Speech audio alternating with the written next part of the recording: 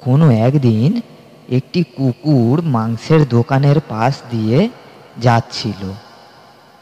সেখানে সে একটা মাংসের টুকরো কুড়িয়ে পেল।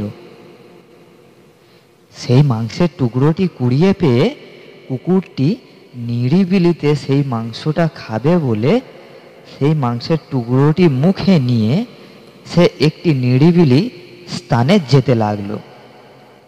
সেই নিরিবিলি স্থানে যেতে যেতে সে একটি খালের পাশ দিয়ে হেঁটে হেঁটে যাচ্ছিল।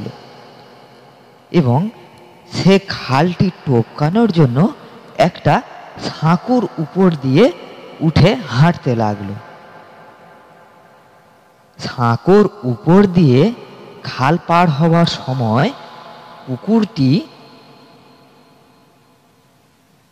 সেই খালের জলে তার নিজের চেহারা দেখতে পেল।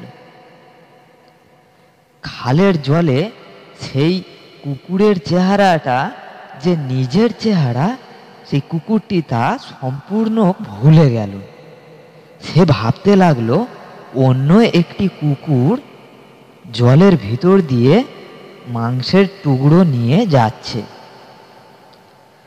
তখন সেই কুকুরটি ভাবল ওই কুকুরটি থেকে যদি আমি মাংসের টুকরোটি ছিনিয়ে নিতে পারি, তাহলে আমার অনেকটাই মাংস হয়ে যাবে। তাই সে ওই মাংসের টুকরোটিও কেড়ে নেবার কথা ভাবল। এবং যেই না ভাবা অমনি সেই জলের ভিতরের কুকুরটিকে ভয় দেখানোর জন্য ওই কুকুরটি ঘেউ ঘেউ শব্দ করে ডেকে উঠল। আর যেমনই মুখ খোলা, অমনি তার মুখের মাংসটা টুকুস করে খালের জলে পড়ল এবং সেই মাংসের টুকরোটি খালের জলেতে তলিয়ে গেল। মাংসের টুকরোটি জলে পড়ে যাওয়ায় বোকা কুকুরটি নিজের ভুল বুঝতে পারল এবং সেখান থেকে মুখ ভার করে আবার সে চলে গেল। প্রিয় বন্ধুরা, এই ভিডিওটি থেকে আমরা কি শিখলাম? আমরা শিখলাম যে পরের দ্রব্যে লোভ করতে নেই, তাতে নিজেরই ক্ষতি হয়।